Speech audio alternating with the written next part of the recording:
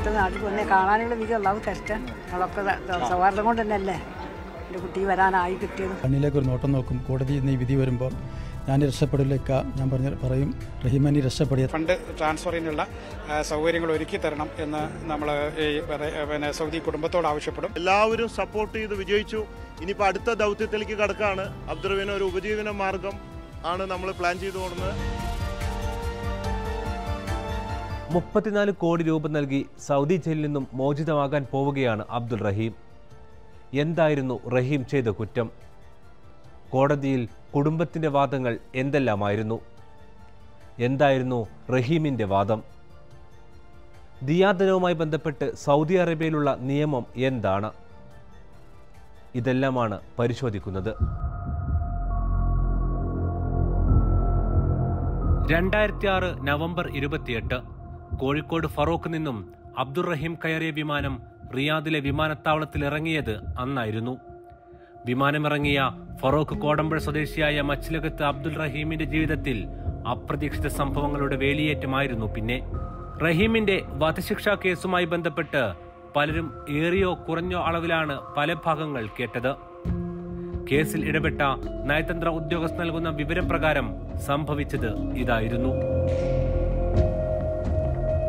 ഇരുപത്തിയാറ് വയസ്സുള്ളപ്പോഴാണ് റഹീം സൗദിയിലെത്തുന്നത്. House driver വിസയിലായിരുന്നു ജോലി. ചുമതല സൗദി പൗരനും സ്പോൺസറുമായ ഫായിസ് അബ്ദുറഹ്മാൻ അൽ ഷെഹരിയുടെ മകൻ അനസ് അൽ ഷെഹരി എന്ന ബാലന്റെ പരിചരണം. തലക്ക് താഴെ ചലനശേഷിയില്ലാത്ത ആളായിരുന്നു അനസ്. വീൽചെയറിലായിരുന്നു യാത്ര മുഴുവൻ. അനസിനെ പുറത്തും കടയിലും കൊണ്ടുപോവുക ആവശ്യമായ സാധനങ്ങൾ വാങ്ങിച്ചു കൊടുക്കുക എന്നതൊക്കെയായിരുന്നു റഹീമിന്റെ ചുമതല. തൊട്ടടുത്ത മാസം ഡിസംബർ ഇരുപത്തിനാലാം തീയതി അന്നാണ് അനസിന്റെ മരണത്തിന് കാരണമായ സംഭവങ്ങൾ ഉണ്ടാകുന്നത്. റിയാദിലെ ഷിഫ എന്ന പ്രദേശത്തെ വീട്ടിൽ നിന്നും അസീസിയ എന്ന പ്രദേശത്തെ മാളിലേക്ക് പോവുകയായിരുന്നു കാറിൽ അനസുമൊത്ത് റഹീം. ഇടയ്ക്കിടെ പ്രകോപിതനാകുന്ന സ്വഭാവം അനസിനുണ്ടായിരുന്നതായി റഹീം പിന്നീട് സാമൂഹ്യ പ്രവർത്തകരോട് പറഞ്ഞിരുന്നു. യാത്രക്കിടെ റെഡ് സിഗ്നലിൽ വാഹനമെത്തി. വാഹനം മുന്നോട്ടെടുക്കാൻ അനസ് റഹീമിനോട് ആവശ്യപ്പെട്ടു. നിയമലംഘനമായതിനാൽ ചെയ്യാൻ റഹീം കൂട്ടാക്കിയില്ല. ഇതോടെ അനസ് എന്ന ചലനശേഷിയില്ലാത്ത ബാലൻ റഹീമിന്റെ നേരെ തുപ്പി. ഇത് തടയാൻ ശ്രമിച്ചെന്നാണ് റഹീമിന്റെ വാദം.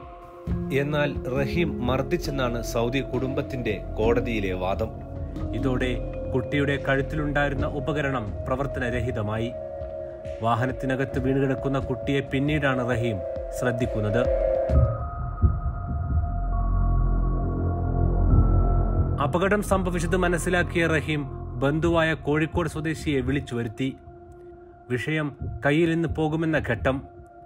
ഇതോടെ ഇരുവരും തയ്യാറാക്കിയ കഥയാണ് കേസിനെ ഏറ്റവും സങ്കീർണമാക്കിയതും സൗദി കുടുംബത്തെ പ്രകോപിപ്പിച്ചതും.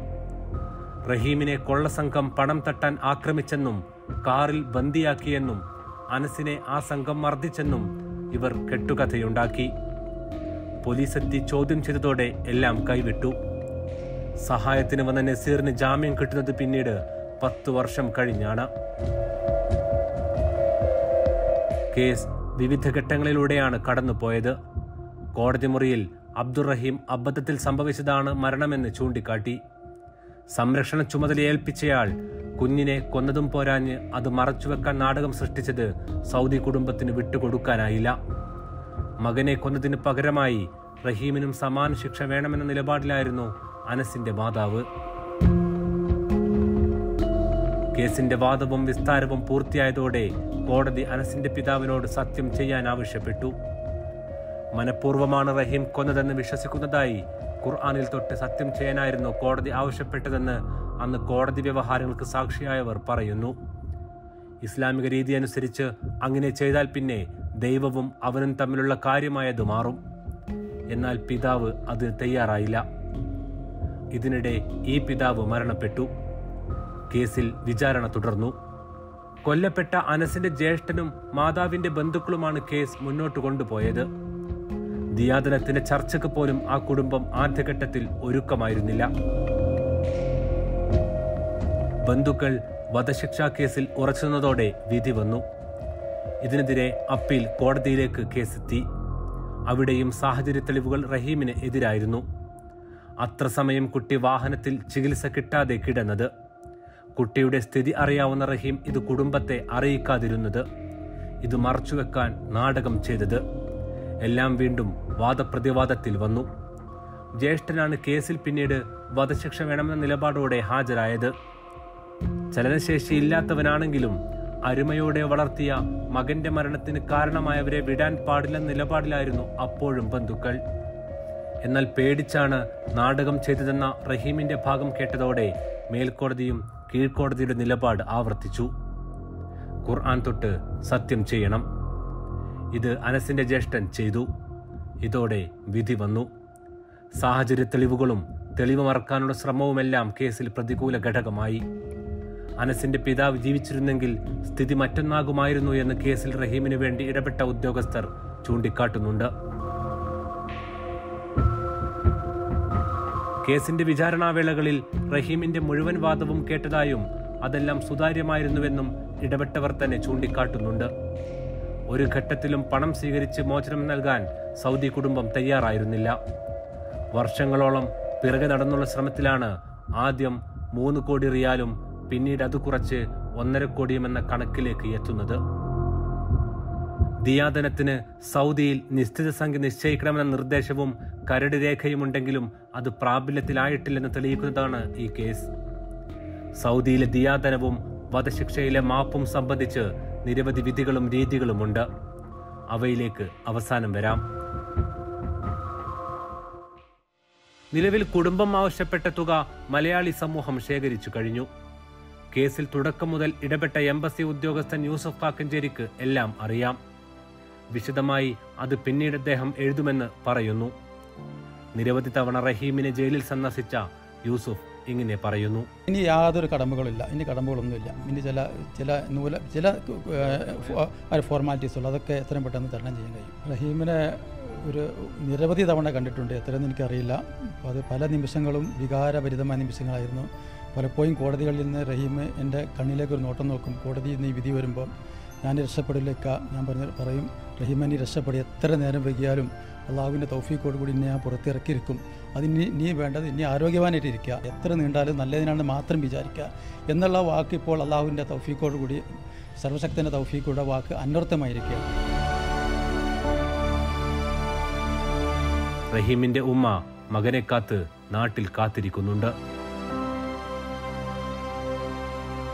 ആൾക്കാരൊക്കെ സംഘടിപ്പിച്ച് ആക്കി എന്റെ മോനങ്ങളെല്ലാവരും കൂടി മോചിപ്പിച്ച് ഇത്തിരി പെട്ടെന്ന് നാട്ടിൽ വന്നേ കാണാനുള്ള വിധി ഉള്ളാവും തരട്ടെ ഞങ്ങളൊക്കെ ദ- സൗഹാർദ്ദം കൊണ്ട് തന്നെയല്ലേ? എന്റെ കുട്ടി വരാനായി കിട്ടിയതും. ഇത്ര ഉറപ്പി അവിടെ എത്തിക്കാൻ കഴിഞ്ഞതും. എല്ലാവർക്കും ഞാൻ എന്റെ നന്ദി പറയുന്നു എല്ലാവരോടും. നടക്കുപാട് പാട് കൂടിയതുകൊണ്ട് തന്നെ എന്റെ കുട്ടി കഴിച്ചിലാക്കാൻ കഴിഞ്ഞത്. കേസിൽ ദിയാദനവുമായി ബന്ധപ്പെട്ട വിഷയത്തിൽ ആദ്യം ചർച്ചകൾക്കായി രംഗത്തിറങ്ങിയത് കെ എം സി സി നേതാവ് അഷ്റഫ് വേങ്ങാട്ടായിരുന്നു. ഇനിയുള്ള നടപടികളാണ് ഇപ്പോൾ നമ്മൾ ബാങ്കിൽ നിന്ന് ഈ അക്കൗ- എമൗണ്ട് എം ഇ എയിലേക്ക് മിനിസ്ട്രി ഓഫ് എക്സ്റ്റേണൽ അഫയേഴ്സിന്റെ അക്കൗണ്ടിലേക്ക് ട്രാൻസ്ഫർ ചെയ്യും. അത് ഇന്ത്യൻ എംബസിയുടെ അക്കൗണ്ടിലേക്ക് അവ- അവിടെ നിന്ന് ട്രാൻസ്ഫർ ചെയ്ത ശേഷമാണ് നമ്മൾ അവരുടെ അക്കൗണ്ടിലേക്ക് അത് കോടതിയുടെ അറിയിപ്പ് കിട്ടണം. കോടതിയിൽ പോയി അവിടെ ഈദ് അവധി വരുന്ന ചൊവ്വാഴ്ചയോടുകൂടി കഴിയും. അത് കഴിഞ്ഞാൽ ഉടനെ നമ്മൾ ഈ സംഗതി സമർപ്പിക്കും. നമ്മൾ ഫണ്ട് റെഡിയാണ്. എത്രയും പെട്ടെന്ന് നമുക്ക് ഇതുമായി ബന്ധപ്പെട്ട ഫണ്ട് ട്രാൻസ്ഫറിനുള്ള സൗകര്യങ്ങൾ ഒരുക്കി തരണം എന്ന് നമ്മൾ ഈ പിന്നെ സൗദി കുടുംബത്തോട് ആവശ്യപ്പെടും. റിയാദിൽ നിന്നാണ് നടപടിക്രമങ്ങളുടെ ബാക്കി പ്രവർത്തനങ്ങൾ പൂർത്തിയാക്കുക. ഇന്ത്യൻ അംബാസഡർ കാണണം. അതിനുശേഷം എംബസിയിലുള്ള മറ്റുള്ള ഈ കാര്യങ്ങൾ കൈകാര്യം ചെയ്യുന്ന ഉദ്യോഗസ്ഥരെ കാണണം. അതിനുശേഷം വക്കീൽമാരെ കാണണം. വക്കീൽമാർ നിങ്ങൾക്കറിയാം ഇവിടെ അഡ്വക്കേറ്റുമാർ ഇവരെ രണ്ട് ഭാഗത്തുള്ള അഡ്വക്കേറ്റുമാരും കൂടി ഉണ്ടാക്കിയ ഒരു സന്ധിയാണ്. ആ സന്ധിയുടെ അടിസ്ഥാനത്തിലാണ് ഇങ്ങനെ ഒരു പിന്നെ ദിയാപ്പണം പണം സ്വീകരിച്ചുകൊണ്ട് റഹീമിനെ മോചനം സാധ്യമാക്കുന്നത്. അവരൊക്കെ കാണുമ്പോൾ അവർക്കൊക്കെ ഉള്ള ഇതിന് പുറമേ ഒരു വലിയ സംഖ്യ അവർക്കും കൂടി പേ ചെയ്യാനുണ്ട്. അത് ഇതിന്റെ പുറമെയാണ് ഈ മുപ്പത്തിനാല് കോടിയുടെ ബാക്കി വരുന്ന ഏകദേശം ഏഴര ലക്ഷം റിയാലോളം അതിന് വേറെ കണ്ടെത്തേണ്ടതുണ്ട്. അത് ഈ ലീഗൽ കമ്മിറ്റി കണ്ടെത്തണം. കേസിൽ ഇനി പൂർത്തിയാക്കാനുള്ള കാര്യങ്ങൾ ഇവയാണ്. അനശ്ശേരിയുടെ അറ്റോണിയും അതേപോലെ തന്നെ അബ്ദുറഹീമിന്റെ അറ്റോണിയും ജോയിന്റ്ലി കോർട്ടിനെ അപ്രോച്ച് ചെയ്യേണ്ടതുണ്ട്. അതോടുകൂടി അവിടെ നിന്നുള്ള ഇത് ദിയ ആക്സെപ്റ്റ് ചെയ്യാമെന്നുള്ള ഒരു ഒരു വില്ലിങ്നെസ്സും അതേപോലെ തന്നെ നമ്മൾ ഇത് റെഡിലി അവൈലബിൾ ആണെന്ന് പറയുന്നതോടുകൂടി അബ്ദുറഹീമിന്റെ റിലീസിനുള്ള ഓർഡർ വരും. പിന്നെ അതിന്റെ ബാക്കി ഫർദർ പ്രൊസീഡിങ്സ് മാത്രമാണുള്ളത്. ചെറുതും വലുതുമായ പല സംഘടനകളും സാധാരണക്കാരും ചേർന്നതോടെയാണ് ഈ ലക്ഷ്യത്തിലേക്ക് മലയാളികൾ എത്തിയത്. പന്ത്രണ്ട് ഏരിയ കമ്മിറ്റിയും കുടുംബവേദിയും നമുക്ക് നിലവിലുണ്ട്. അവരെല്ലാം അതിന്റെതായ രീതിയിൽ അറിയിക്കുകയും അവരോട് ഇതിന്റെ ആ ഒരു ഗൗരവം പറയുകയും ചെയ്തപ്പോൾ ഈ ഒരു പെരുന്നാളിൽ ആ ഒരു എഫേർട്ട് എടുത്തുകൊണ്ട് നമ്മുടെ സഹകളൊക്കെ തന്നെയും ആ ഒരു രീതിയിലേക്ക് വർക്ക് ചെയ്യുകയും ഓരോ ഏരിയ കമ്മിറ്റിയും അതിന്റെതായ പ്രവർത്തനം നടത്തുകയും ചെയ്തു. റിയാദിൽ തുടങ്ങിവെച്ച ഈ ശ്രമം റമലാൻ അവസാനത്തോടെയാണ് ഫണ്ടിങ്ങിൽ കുതിക്കുന്നത്. കേരളത്തിൽ ബോബി ചെമ്മണ്ണൂർ നടത്തിയ പ്രധാനപ്പെട്ട ക്യാമ്പയിൻ വിഷയം പൊതുജനങ്ങളിലേക്ക് കൂടുതലായി എത്തിച്ചു. അമ്പതിനായിരം രൂപയ്ക്കാണ് ടീ വാങ്ങിയേക്കണേ. താങ്ക് യു വെരി മച്ച് അബ്ദുറഹീമിന്റെ ജീവിതത്തിലേക്ക് ഇവിടെ എത്തിക്കഴിഞ്ഞാൽ ഒരു വഴിത്തിരിവാൻ വേണ്ടി ആദ്യത്തെ വലിയൊരു സംഭാവനയാണ്. എല്ലാവരും സപ്പോർട്ട് ചെയ്ത് വിജയിച്ചു. ഇനിയിപ്പോൾ അടുത്ത ദൗത്യത്തിലേക്ക് കടക്കാണ്. അബ്ദുറഹീമിനെ രക്ഷിച്ചു കൊടുന്ന് ഇനി ഇവിടെ നാട്ടിലെടുത്ത് കഷ്ടപ്പെടാതിരിക്കാൻ വേണ്ടിയിട്ട് അബ്ദുറഹീമിന് ഒരു ഉപജീവന മാർഗം ആണ് നമ്മൾ പ്ലാൻ ചെയ്തു കൊടുന്നത്. അതിനു വേണ്ടിയിട്ട് Boche tea lucky draw ticket challenge പതിനഞ്ചാം തീയതി വെച്ചിട്ടുണ്ട്. അബ്ദുറഹീമിന് ഒരു കടയിട്ട് കൊടുക്കുക. ഫ്രാഞ്ചൈസി ബോച്ചെ പാർട്ട്ണർ എന്നുള്ള കടയിട്ട് കൊടുക്കലാണ് നമ്മൾ പ്ലാൻ ചെയ്തിട്ടുള്ളത്. ഈ ബോച്ചെ ടീയുടെ ലാഭത്തിന്റെ വിഹിതം അതിനാണ് ഉപയോഗിക്കുന്നത്. സൗദിയുടെ ജിദ്ദ ദമാം എന്നിടങ്ങളിൽ നിന്നുള്ള സമാഹരണവും ഫണ്ടിങ്ങിൽ സഹായിച്ചു. സൗദിയിൽ ഇത്രയധികം തുക ദിയാദനമായി ചോദിക്കുന്നത് ആദ്യത്തെ സംഭവമല്ലെന്നാണ് കേസിൽ ഇടപെട്ടവർ ചൂണ്ടിക്കാട്ടുന്നത്. ഇതിനേക്കാൾ കൂടുതൽ നഷ്ടപരിഹാരം ചോദിച്ച സംഭവങ്ങൾ ഉണ്ടായിട്ടുണ്ടെന്ന് ഈ കേസിലും കോടതി വ്യവഹാരങ്ങളിലും ഇടപെട്ടവർ പറയുന്നു. സൗദിയിൽ ദിയാദനത്തിന്റെയും മാപ്പ് നൽകലിന്റെയും കേസിലേക്ക് വരാം. റഹീമിന്റെ കേസ് സംഭവിച്ച രണ്ടായിരത്തി ആറിൽ അതേ കാലത്ത് തന്നെ മറ്റൊരു കേസിലും മലയാളിക്ക് ദിയാദനം നൽകേണ്ട സാഹചര്യമുണ്ടായിരുന്നു. കോഴിക്കോട് കൊയിലാണ്ടി സ്വദേശിക്കായിരുന്നു അത്. അശ്രദ്ധമായി വാഹനമോടിച്ച് വാഹനത്തിലുണ്ടായിരുന്ന മൂന്ന് സൗദി പൗരന്മാർ മരിച്ച കേസിലായിരുന്നു അത്. അന്ന് ദിയാദനമായി ചോദിച്ചത് നാൽപ്പത് ലക്ഷം രൂപയാണ്. ആ സംഖ്യ മലയാളിക്ക് വേണ്ടി അടച്ചത് അന്നത്തെ സൗദി ഭരണാധികാരി അബ്ദുള്ള രാജാവായിരുന്നു. ഹുഫൂഫിലായിരുന്നു ഈ കേസ്.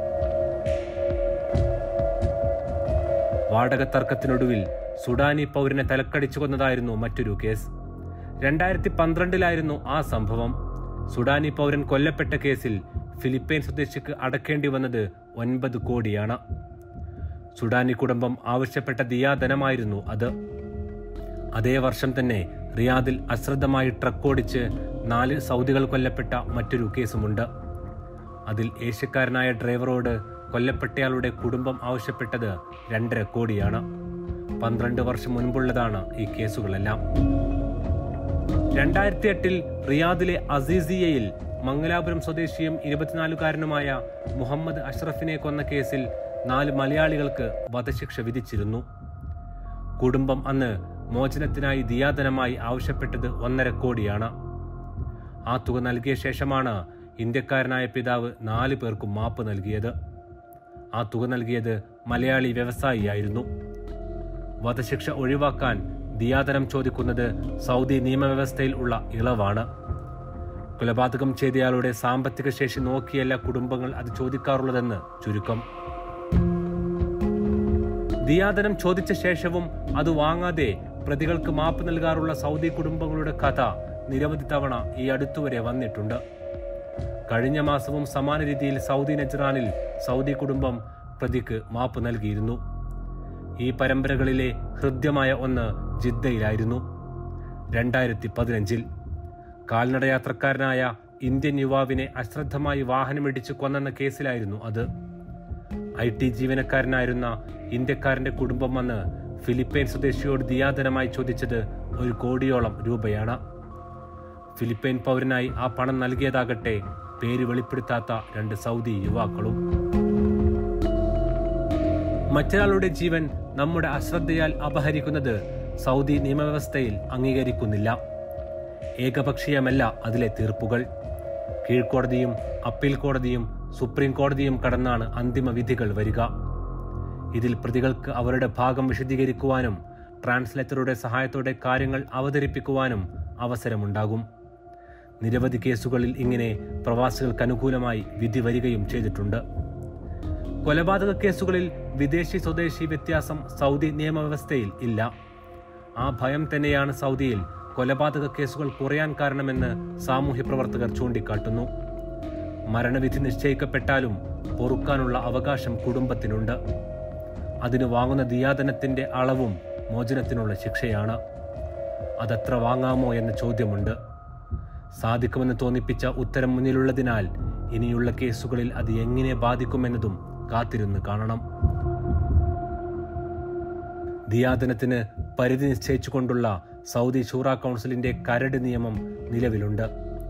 അത് പ്രാബല്യത്തിലാകുന്നതോടെ ഇതിന് അറുതിയാകും. ഏറെ ചർച്ചയായതാണ് റഹീമിന്റെ കേസ്. അദ്ദേഹം മോചിതനാകാൻ പോകുന്നു. മരണം മുന്നിൽ കണ്ട് ജീവിച്ച അദ്ദേഹത്തിന് മുന്നിൽ ജീവിതം പുതിയ വഴികൾ തുറക്കുകയാണ്. അതിന് വഴിയൊരുക്കിയത് മലയാളികളാണ്.